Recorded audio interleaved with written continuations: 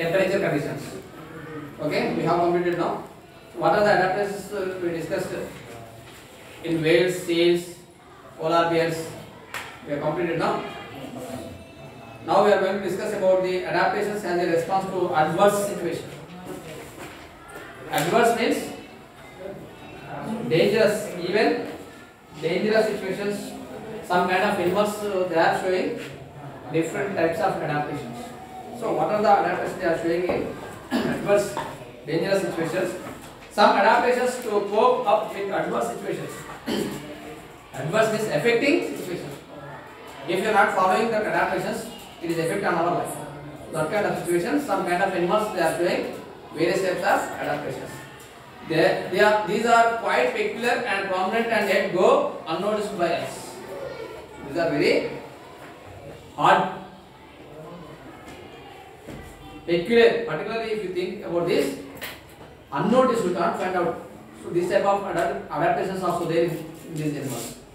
That kind of peculiar, different kinds of adaptations uh, they are showing some kind of animals. Observe pictures, you may find many kinds of organisms living underground like this. Why did they choose such places? Observe here. So there is a site, earth. So they are making some burrows. After making these burrows, they are living that burrows. So is it is covered with soil. You can't find out here is a habitat. You can't find out here is some kind of animals are living, some kind of organisms are living. You can't find out what kind of adaptation they are showing. They are living in that area and they are showing some adaptations. What are the adaptations they are showing here? Many organisms that live in the hot deserts or polar regions migrate to the deeper layers of the earth to protect themselves from the extreme conditions of heat and cold. Number of different types of organisms already we discussed various types of adaptations. Some kind of animals whenever they want to protect extreme cold conditions, they are showing different types of adaptations. Some types extreme hot conditions. They are showing some adaptations. Means adaptation is adjustable properties. What are the adaptations they are showing in extreme cold conditions and extreme hot conditions? Now we are going to discuss. For example, seasonal adaptations can be seen in amphibians like frog. See, according to season, winter season and summer season. So already know rainy season is suitable for growing frogs, developing their generation. So why they? That's why they are not showing any adaptations in the rainy season. Only remaining two seasons, winter and summer, they want to protect themselves. So at that time, what are the adaptations they are showing? It is very important.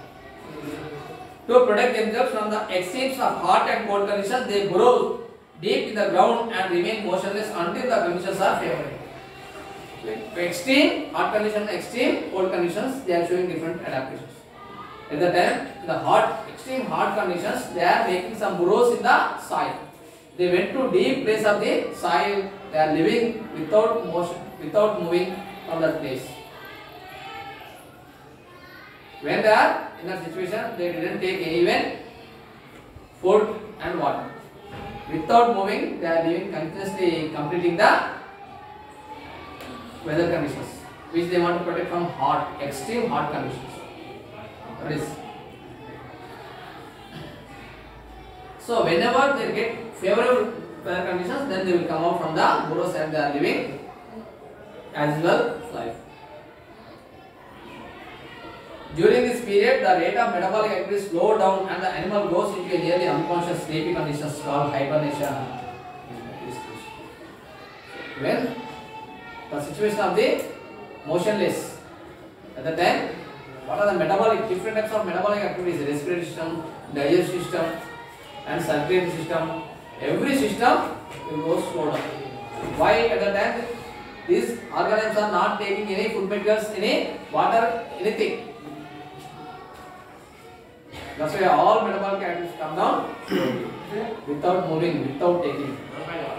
This kind of situation we are calling which is cold condition, which is at the time conscious they are sleeping, unconscious sleep, unconsciousness, without moving, without taking anything for the completion of this period in summer or winter. What is the sleepy conditions in winter season called hibernation? In summer season, it is called estivation.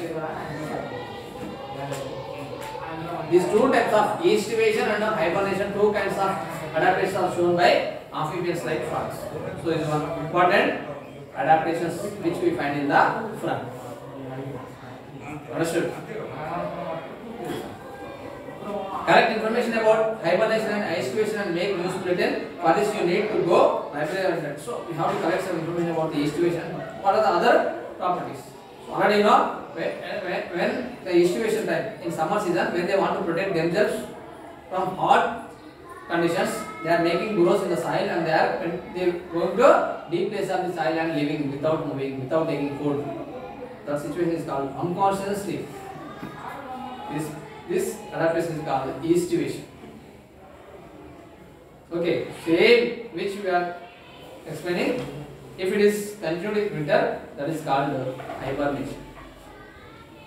Hibernation and estivation, two types of adaptation we find in the works. Next, lichens are lichen. So, what is lichen? What is the meaning of lichen?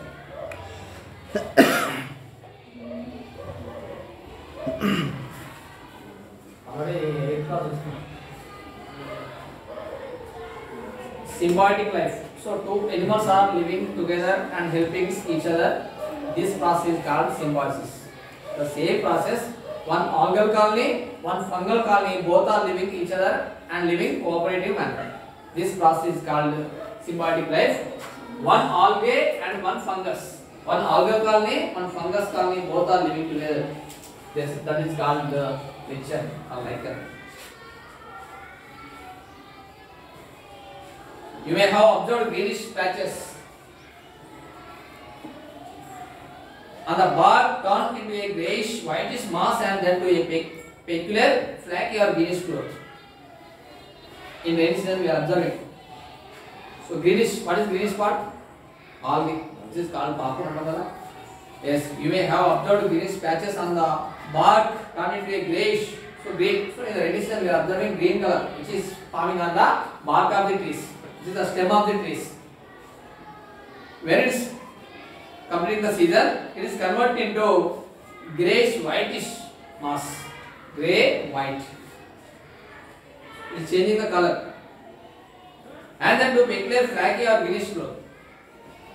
So then you can observe greenish black like structure means protrudes vertical and structure greenish and velvety మెంతగా స్మూత్గా ఉన్నటువంటి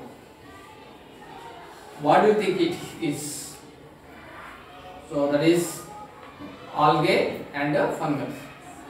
Both type of uh, which is belongs to Thallophyta phylum they are growing on the bark of the stem. So it is very soft. In season we are observing the situation. Some kind of smooth sm- soft substance are forming on the bark a flavoring agent in the name of Attar pole is used in preparing biryani. It is also type of. So what is the velvet which is forming protrudes like structure?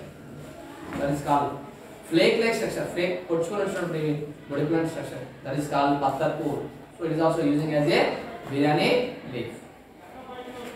So this type of structures we are observing on the bark of the some kind of trees, not at all. Here observe. So this is Figure 18 shows the successful adaptation of algae and fungi. So we can observe successful adaptation, adjustable conditions in algae and fungus. How these type of adaptations we can they are forming. The fungus colony attacks an algal colony where most of the algal colony that fails to compete dies out. So when at the time of the completing the rainy season, so fungal colony attacked the algal colony, algae. So which is called greenish part. It is covered by fungus colony. So what is reason? Why it is attacking? Means the more adaptive forms of algae live on to form symbiotic relationship with the fungi, in colonies called lichens. So why? Already wherever it is lot, it is getting lot of water, automatically you can see this greenish velvet structure. That is algae. So whenever it is going to complete the season, some other fungus colonies attack to the algal colony. So this process, whenever both are living here, this is called picture. The figure shows such a colony growing on a tree trunk. The fungus provides water and minerals to the alga, algae, while the algae per, performs photosynthesis and supplies food in the form of sugars to the fungus. Yes, how they are living in symbiotic life. Whenever algae, so always when it has moisture surface, so it can grow. Whenever it is going to dry out, completing the rainy season, it is going to dry out. So when it, alga colony is going to dry out, it is occupied by the fungus colony. Whenever fungus oc- occupied the greenish substance, automatically there is no falling sunlight. That much of leads to how much sunlight leads to dry out. That much sunlight is not falling. So that kind of protection it is giving. Sometimes it is providing water. Madam, Whenever this alga colony getting water, sufficient sunlight, automatically it is participating in the photosynthesis and providing food, preparing food their own way and providing food for fungus. So how it is protecting from the sunlight and how it is participating photosynthesis and how they are both are living together. So this is the process adaptations which we are observing this. Due to such symbiotic adaptations, lichens are able to survive even extreme conditions. Due to extreme summer, extreme extreme hot conditions also, both are living without collapsing there. This is one kind of adaptation which we observed in fungus and colony. So that is called the lichens.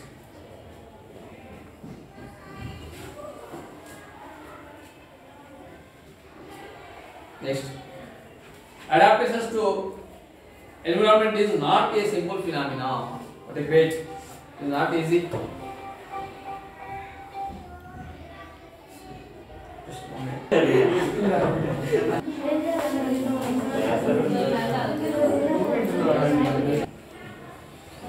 So adaptation to environment is not a simple phenomenon. Means it is not easy. What are the ca- properties we have? That is not. If you keep a cow in a desert, will it be modified like a camel? According to adaptation, adapt, according to atmospheric conditions, we have to change our body structure. Is it possible? If you take one cow and keep in desert area, can it convert into camel? If a giraffe is kept in a forest which is short trees or plants, it would not convert like a goat. Only so we, if you bring camel and leave in small plants, where is the small plants that like forest? Can it convert into small deer or goat? Is it possible? Why? According to according to atmospheric conditions, according to nature, we have to change. Not only but also every animal, every organ is changing. Already we have evolution theory. So next 10 class we will discuss about this. Adaptation take place over a long. So adaptation we can we can change. We can get changes. If you keep the giraffe where small trees are located in the forest, it is converted into deer and goat. But it is taking long period of time. What are the changes? What are the adjustment conditions which we are getting? Is not easy process. Means it is taking. It is a long period process. Okay. Now no. Hmm? Story of Darwin's finches, finch birds. They one kind of birds. So Darwin already know who is father of evolution. So he described some theories according to biology. Now we are going small theory according to finches. Charles Darwin in the year 1885 landed from the famous ship HMS Beagle on one of the islands of the group of Galapagos Islands. So one day he want to research something. That's why he traveled uh, by the ship. What is the ship name? HMS Beagle, very very important. So ask in one more bit, what is the name of the ship which is traveled the Charles Darwin. So in 1885, the ship name is HMS Beagle. So where he went? He went to island of the group of Galapagos Islands. Group. Island means group of land area. He studied about different organs of the islands, not only but also he observed everything in that area. What are the changes? What are the atmospheric, atmospheric conditions and uh, about the nature. His most remarkable observation had been about finches. So different variety observations he observed in that area. So one important thing is he observed about the finch birds. He find out something changed in the finch birds. What is the change? So here our state bird is also a finch. He was amazed to see that 13 types of finches that different with respect to beaks and the color of feathers are present in the small region of the Galapagos Island. Just he observed the different birds in same area. So what is Galapagos Island area? He observed 13 different variety of birds which is belongs to only same species like finch. All are belongs to finch birds. All are belongs to same species. But they have different beaks and different feather colors. What is the meaning of feathers? Colors are different. Beak structure also different. He find out the he raised some questions. Why? These all are living same area. All are to same species. Why they have different beaks, different structure of beaks and different color of feathers? What is the reason? He observed a lot. He noted that some finches eat seeds while some eat fruits and the others eat insects. Why? What is the reason? All are living same area, all are belongs to same space. Why they have different structure of the beaks? He observed, he researched on finch birds. Finally, he find out the answer that depending on the uses, depending on the using of beaks, the structure is different. Some birds are eating grains, some birds are eating insects, some birds are eating fruits. Depending on taking food items, the beak structures are different. According to Darwin. If you use what are the parts we are using continuously, that part is developing our body. Same. If you are not use any one part of your body, it will goes to collapse. Continuously don't use like keep dangle like this. Don't use. Within one week, ten days, it will not function. According to Darwin, in our body, what are the parts we are using properly, what are the parts we are using continuously, that parts only function properly. That parts only developing properly. The same way, finch birds which they are eating. Why? What is the structure? What are the difference between structures different birds? Depending on taking food. Some grains which is strong. That's why they have strong beak. Some birds which they are eating fruits. They have bending like structure of beak. Some birds are eating insects. Depending on the taking food item, they have different structures in the beak. So you find out answer. Next. Adapt, adaptive radiation Galapagos finches. So observe these pictures. How how many different kinds of all are belongs to finch birds, but the beaks are different, colors are different. Try to guess if there is any relation between type of food taken and the structure of beak.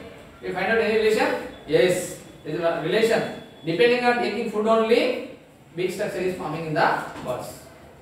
Birds which are taking soft food items, so the beak is different. Birds which which birds which they are taking strong means grains, so the beaks are different. Yes, there is a relation depending on taking food and beak structure is there is a lot of relation. The seeds eater had thick and heavy beaks. Yes. What is finch birds which they are eating? Seeds. Their beaks are heavy and thick. Why? They have to eat strong. Seeds means strong parts.